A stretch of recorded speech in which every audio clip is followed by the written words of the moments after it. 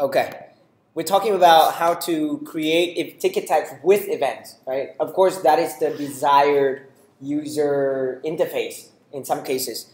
So here you can do something like this: event equals event dot what create event params as usual. Obviously, you have to define this guy, right? But here it doesn't. Nothing prevents you from having ticket types, and then you can do each and then in here you can have like, you know, name and quantity, right? Max quantity. So how does it work? So you can actually have this ticket type submitted in the form. So how do we make that happen? Uh, for example, you can have form for, in the view you have form for event, because form for then you have f right? Anything that you do f dot you know text field name anything that is this will lead to submitting things to param event name. Make sense?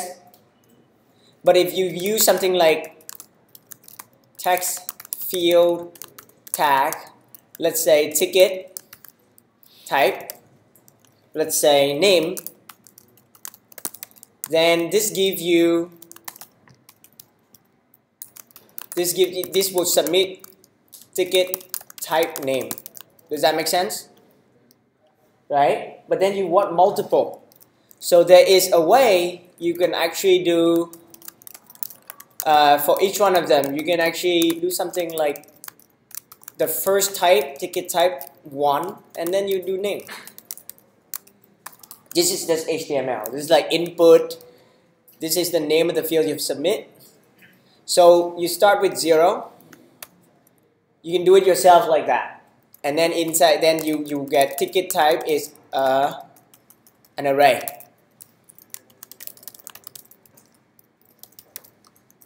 That is an array. So this is now is an array. Some people pass this as a non-zero, want to put it actually as something else like name and stuff. Then it becomes so let me copy this. If you do this, name and just that, and then the second one, oops, the second one as, and then it, it is ha a hash, right? Max quantity. Then it's, this is a, a hash. General idea. Does that make sense? General idea.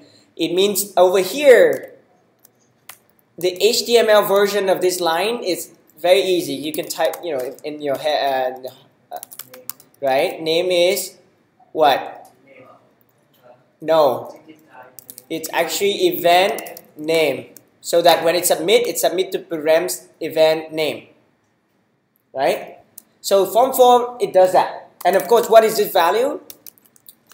This value is, if you don't have anything, it's actually, this value is actually this event dot name. So if you have an event that already exists, right, it will give that value to this guy. That's it. That's an input element. Uh, element.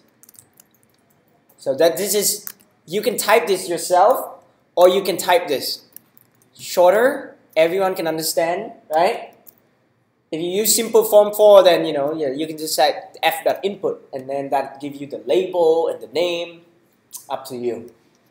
Okay, but usually knowing your form for is good enough. All right. Now, of course, it seems that like that, but I just need to you to understand the general idea in this syntax. When you look at how Rails does it, you can learn more how uh, you know the, the magic is done and you can do it yourself. So use Rails uh, nested form support. So what, it, what does it do? So soon you will be able to learn this form for event. I haven't taught this, but you can you know do it yourself. You do fields for fields for ticket type do, and then here is, let's say you call it field. Okay? And what is in here? Field dot text field. Let's say max quantity. Alright, you still have f.submit. Whoa. Does it seem confusing? No? It's so what is this line, right? What is the HTML version of this? Does anyone know? So input name is what's the name of this input? Event ticket type because that's a field and then max quantity. Right? Now, if you do instead of text field, you can say number field, email field, and then here then you have this thing called type. Instead of type text, then it becomes type number. Then you know the browser HTML5 support, it does that. So when you press submit, it just parses the string and you have these params in your log file, or when you crash the browser. So when I save the event, will it save also save the ticket time? Not yet. It submit. Now, when it submit this, it means in here you can actually either in the controller, right? You can actually have this event and ticket type. Okay. Now here's the okay. This is it may be too much, but you can just submit and then just do this yourself. It's the hash anyway. So just do if you name this as ticket types, okay? Because it should be more than one, right? Feel free to just do it yourself, like you know, each do, and in here you just create the object. That may be better. However, if you, okay, this is the question. Ask me if you, uh, you know, are confused, but you probably will will be confused. So if you say accept nested attributes for ticket type. If you do this, and this one has, hey, this one is it's a bit a lot of magic, and some people say people should remove this from Rails, and some say keep it. It's wonderful. It uh, help you, um, you know, write really little code, and everything will work. But when you abuse it, when you use it to for so many fields, it will be impossible to debug. And then you know all the expert people hate it. For example, for myself, I don't use it if I don't have to. It's better to create more model and objects. Okay, so we are at the you know within eight weeks you can learn this. Now because you have this accept nested attributes for, and when you do this ticket types, it will load all the event dot ticket types so it can create more than one fields for. So then you can see one, two, three, four. And then it will submit. If you do this, it actually submit to params event.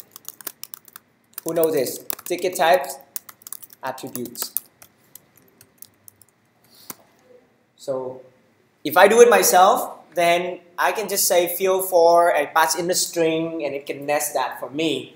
But if you use accept nested attributes, then it convert everything into this this thing. And then when, of course, under if you do that already, then under um, event params, you have to require uh, event, permit. Of course, you permit a few things here. So I say name, but then now you have to permit ticket type attribute and in that, then you also permit uh, max quantity and such. So you, you just permit it in different levels. So this is totally awesome, very easy to understand, uh, but it can be it can backfire if you don't use it properly.